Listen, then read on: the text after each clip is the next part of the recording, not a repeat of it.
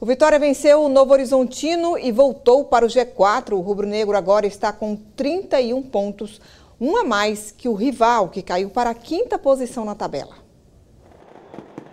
Depois de perder quatro dos últimos cinco jogos, o Vitória tinha um confronto direto pela frente contra o Novo Horizontino. Com uma vaga no G4 em disputa, as duas equipes começaram o jogo se estudando bastante.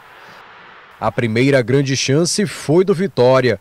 Matheus Gonçalves desceu pela direita e cruzou para Oswaldo abrir o placar. Logo depois, o camisa 10 cobrou uma falta na cabeça de Camutanga, que não desperdiçou.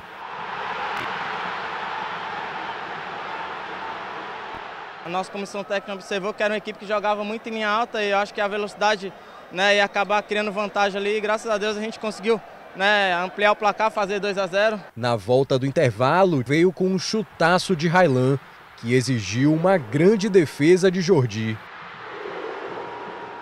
Após a cobrança de escanteio, Giovani subiu bem e pôs fogo no jogo.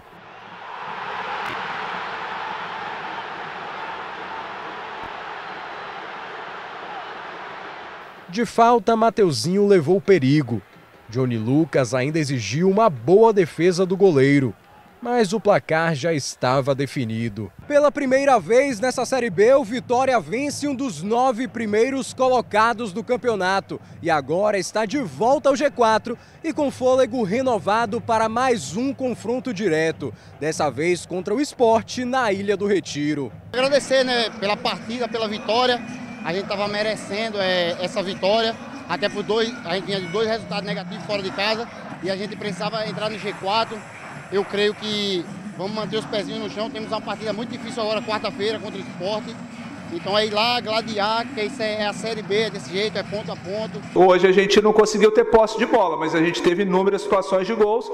Nossa equipe hoje, podemos dizer que foi uma equipe efetiva para vencer o jogo.